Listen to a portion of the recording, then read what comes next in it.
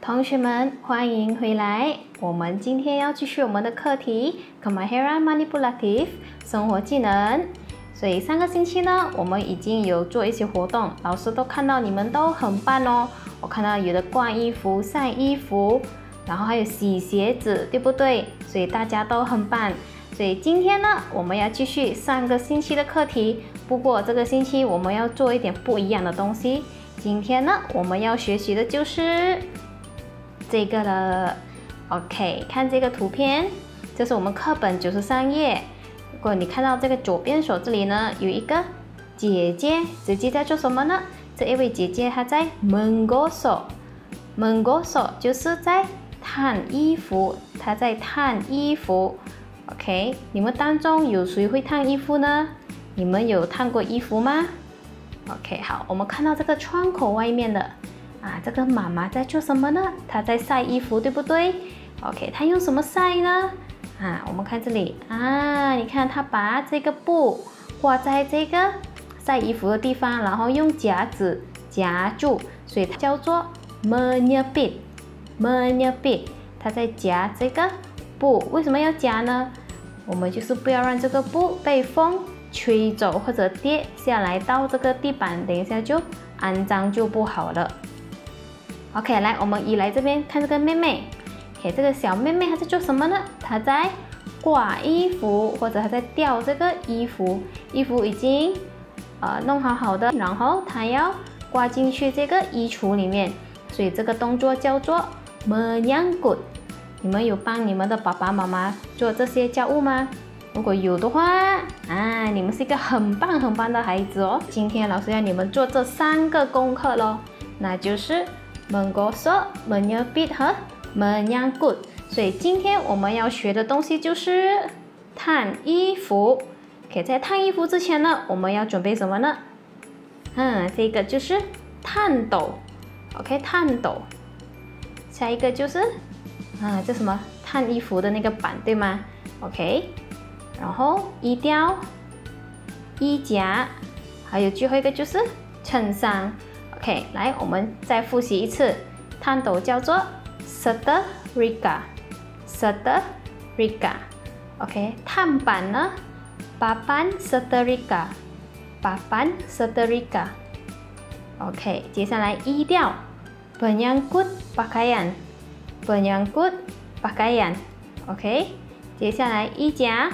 penyebit pakaian, penyebit pakaian。最后最后的就是衬衫，叫做 kemeja，kemeja。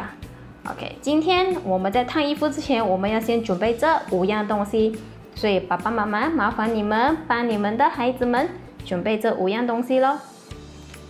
当你们准备好了，接下来老师就有一个影片要给大家看，这就是老师在影片当中。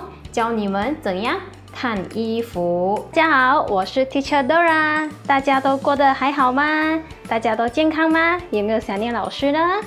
好了，今天我们要进入我们今天的课题，那就是噔噔，这个是什么？这个就是烫斗。OK，这就是烫斗。今天呢，老师会教你们一系列的练习，那就是烫衣服。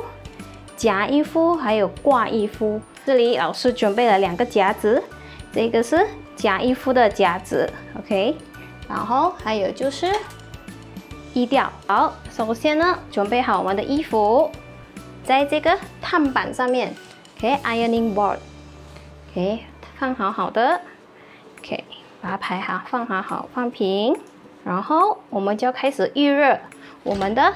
探斗，记得哦，在你们用这个探斗的时候呢，记得一定要叫爸爸或者妈妈，还有或者大人在你身边陪伴你，看着你一起探，因为这个是会很烫很烧的，好不好？我们先预热它，怎么预热呢？记得一定要开电哦。看到开电了没有？开电，它这里就有红灯亮起了红灯。首先，我们就等它预热，好不好？可以在等它预热之前呢。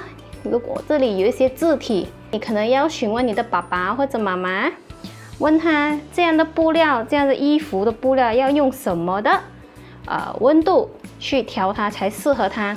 为什么要这么做呢？如果太热的话呢，等一下我们的衣服会坏掉，因为有一些布料它是很敏感的，所以要刚刚好。像老师这一件呢，它是比较属于柔软性的，OK，所以老师用比较柔和的、比较温和的就好了，就是用这一个比较小一点的，就是这个袖。所以爸爸妈妈，请你们呃指导一下你们的孩子，帮他调到比较温和的温度。记得这里是很烫很烧哦，千万不要用手去触摸它，对，否则会受伤哦。我们的烫斗已经 OK 了，所以我们就轻轻的下去，OK，衣服拉着站好来，手要拿对哦。爸爸妈妈要抓着孩子们的手哦，要教他们怎么烫衣服了，他们都已经长大了。以后校服都要他们自己烫哦。OK，你看这里已经变平啦，平平的。OK，来之前是皱皱的。好，我们烫手机的一个距离，重复在同样的地方来回几次。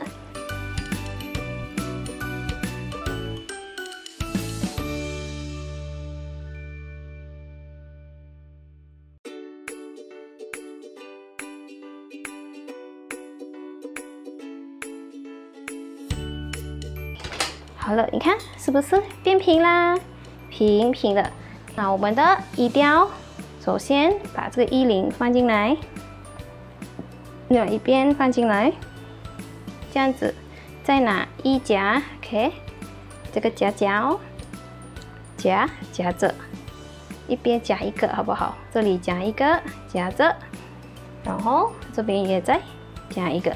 好啦，老师的衣服就不会再。跌跌的了，它不会再从这个衣架跌下来。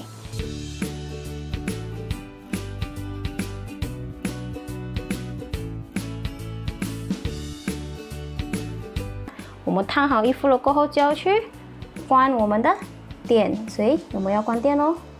啊，关了电，它就没有灯的，OK，没有灯了。不过你不要去碰它，它还是很烧很热的。